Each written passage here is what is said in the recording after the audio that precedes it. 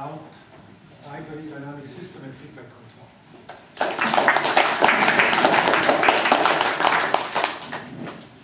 So thank you very much for the introduction, and uh, thanks for, for having me here. So I understand that this is two weeks in a row now that you're listening to somebody from UCSB, from my department in particular, the ECE department.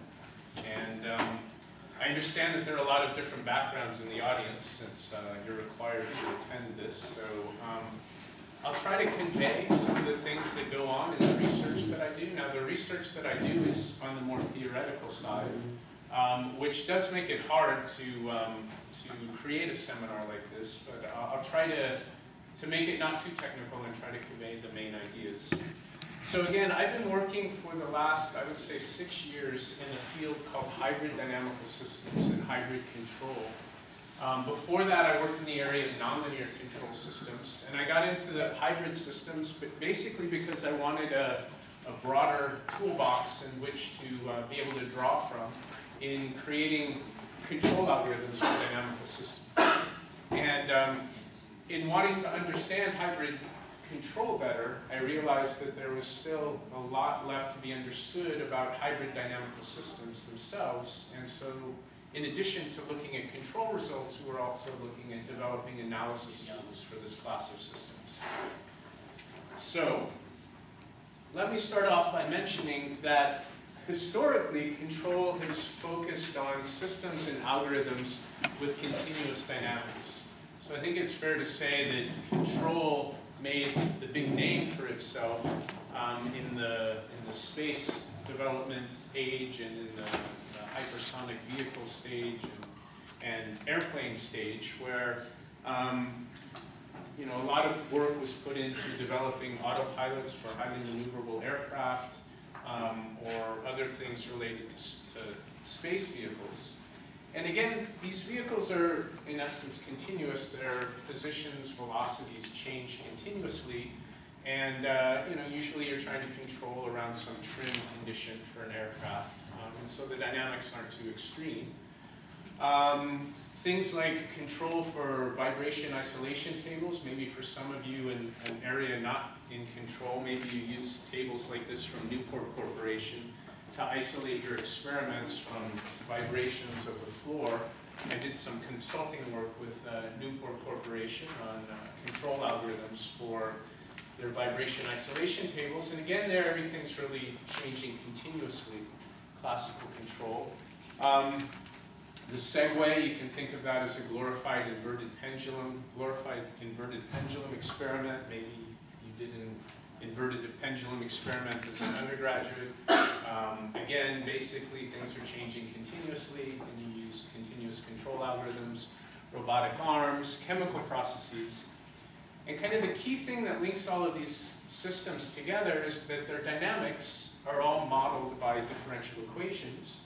So you just need to know something about the physics in each realm to come up with a differential equation that describes how the state changes over time, whether it's the position or the velocity or the temperature or the chemical concentration or the angles or whatever those are. There's some physical rules that tell you how they change that are producing for you a differential equation that describes the dynamics.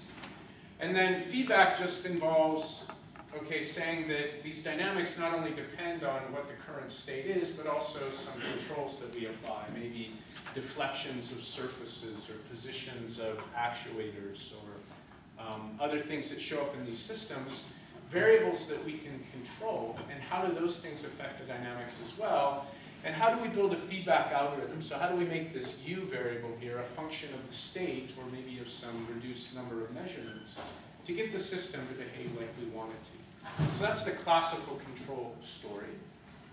Um, but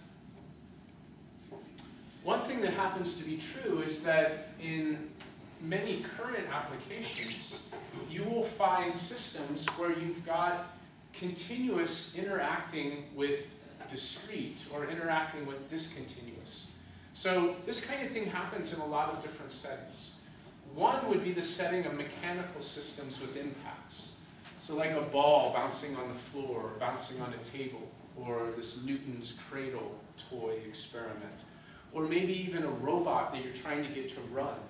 In all of these situations, you've got mechanical systems making impact with a surface. And in that situation, a very good approximation of what's going on is that at an impact, the velocity undergoes an instantaneous change.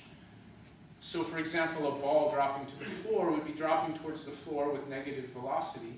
And then as soon as you impact the floor, there's an instantaneous change in the velocity, so it's not changing continuously anymore according to a differential equation. It's changing instantaneously from negative to positive and then moves away from. Now you could argue that, well, you could model all of that continuously at a very different time scale, but a good approximation of what's going on is to say, that variable changed instantaneously at an impact. And so then you can imagine that modeling this would be important for, for example, getting a robot to run. And uh, there's, there are people like Jesse Grizzle at the University of Michigan who's spending a lot of time looking at developing control algorithms based on solid, a solid theoretical foundation that would enable a robot to, to run.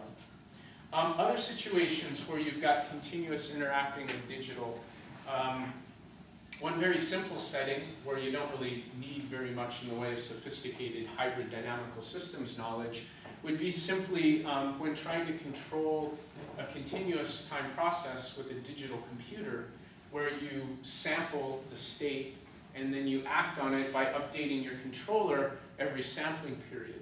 So a sample and hold type of operation to implement a control. Again, there you've got the interaction of continuous, which would be the system you're trying to control, and things that are discrete or change instantaneously, like an instantaneous change in your measurement when you sample it, or an instantaneous change in the control that you use um, when you maybe use a zero order hold on the output of your com computer device.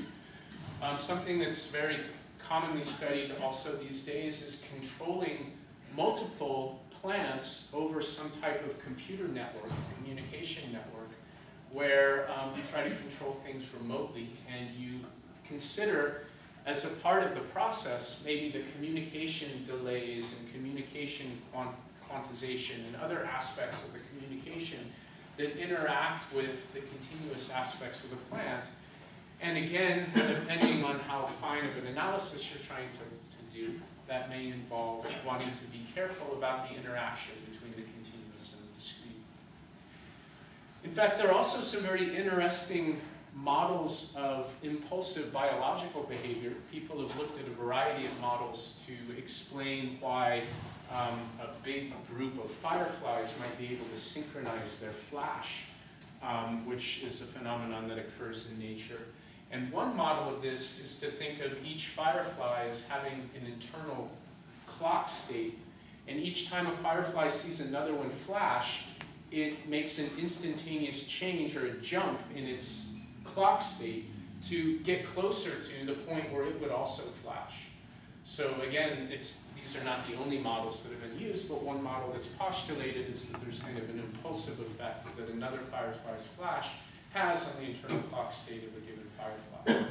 And so, again, if you want to understand these models, uh, or if you want to understand what's going on in these systems and maybe how to control them, then it becomes important to understand to understand hybrid dynamical systems in the same way that you would understand differential equations. So many of you use differential equations in your research, some of you don't, but for those of you that do, you know, having a, a good understanding of, of how solutions to differential equations behave is important to what you do, and then you could imagine that the same story would be true if you're looking at systems that have hybrid aspects. Now, not just do we run into the situation where the dynamical system that we're looking at has hybrid aspects, where there's this interaction between continuous and instantaneous change, or continuous and discrete variables, but in control, you actually sometimes run into problems where you're trying to control a system that's classical, continuous change of variables, but the objectives that you're trying to achieve necessitate a hybrid control algorithm. There's some control problems that you cannot solve with classical feedback that you can solve with hybrid feedback, and they usually are associated with some type of topological constraint that makes solving the problem impossible with classical feedback. So here are some examples that really all have a common theme. If you're trying to, let's say, globally asymptotically stabilize the straight up position on an inverted pendulum, so you don't care where you start, but you want to end up straight up, and you want to have the property that if you start close to straight up, you stay close to straight up. Since this angle variable on the pendulum lives on a circle, somewhere there's going to be a dividing line between deciding to go up from down um, kind of clockwise or counterclockwise. And because of that topological constraint of living on a circle, as I'll explain in a minute, there are, there are obstructions to doing this with classical control in a way that would be robust to the types of things you'd like to be robust to, like measurement noise in a control system. Um, orienting a satellite is, is very similar. Um, there, instead of um, having a, a planar orientation, you've got a 3D orientation that you want to control. Um, but to be able to do this with feedback in a way that's guaranteed to be robust to measurement noise and to be able to do it globally is something that actually requires hybrid feedback. A very similar situation might be a continuous system like a car trying to go around an obstacle. And again, if you come upon the obstacle right in front of you, you basically have to make a decision about whether to go around that thing to the left or to the right, and somewhere there'll be some boundary of your decision where you decided to go one way or another. But that's creating this topological constraint of separating out two different behaviors, which differential equations are not very good at doing. Um, but hybrid dynamical systems are. So let me try to explain this with a, um, a picture. Suppose you were trying to position yourself over here on a circle. And um, you wanted to have the property that if you started close to that point, you stayed close to that point. And you wanted to have the property that you came over to this circle, used the point on the circle using feedback. Um, and you wanted to be robust to measurement noise, meaning that if your sensors were kind of getting confused about where exactly you were and could only give you an interval of information about where you were, that you still headed over in this direction. So the, the most naive thing to do would be to just have a feedback that was discontinuous over here on this boundary on the opposite side of the circle, and just say, well look, if I'm in the upper hemisphere, I'm going to go around in this clockwise direction. If I'm in the lower hemisphere, I'm going to come around in the, the counterclockwise direction. Okay, that's reasonable, except there's one problem, which is that over here on this boundary, if there's sensor noise that's unable to be definitive about which hemisphere you're in, then what's going to happen over here on that far edge is that the measurement noise could keep you from ever actually making any progress. So it could toggle back and forth where you say, oh, go clockwise, no, go counterclockwise, no, go clockwise, go counterclockwise, and in principle you could get stuck. Now you might say to yourself, well, okay, but when is that type of noise signal ever going to happen? Well, imagine this as being some type of um, game or adversary versus um, prosecutor type role where your job is to orient yourself to position at an adversary and then maybe do something, you know, at least tag him with a, with a laser or something.